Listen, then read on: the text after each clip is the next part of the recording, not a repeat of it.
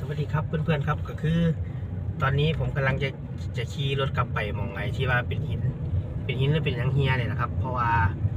ทางเส้นนี้บอกเลยว่า เป็นที่ที่อันตรายที่สุดสำหรับรถแล่นนี่แหละเราก็ที่เก็บออกเนาะอันนี้เป็นหินรถโมเฮียครับ ถ้ารถมอเตอร์ไซค์มันสวนกันบ่อยนี่คือ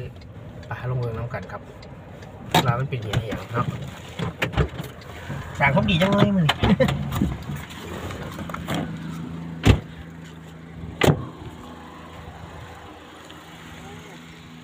มันเป็น หินรถโม่ครับทุกคนนี่เพราะว่าตรงนี้มันเป็นทางไอ้ข้ามาถ้าเปิดเสือเลี้ยนบ่ได้เนาะตรงนี้อันตรายมากครับหินคมมากครับหินลงโม่หินใหญ่มันหลนพอดีครับมือนี้เขาได้โอกาสเนาะเอาซอยจังเลยถือว่าซอยชีวิตคนไปเร็วๆรถใหญ่มาขาดมานี่ก็คือข้างจะหนีบอกเลยนะครับโอ้ว่าโหบอกเลยครับว่าพ่อแมนว่า ผมมีคนหลบเลยครับหลบถึงกับชีวิตเสียชีวิตมาแล้วเลยเดี๋ยวแป๊บนึงถ่ายรถคันนี้กัน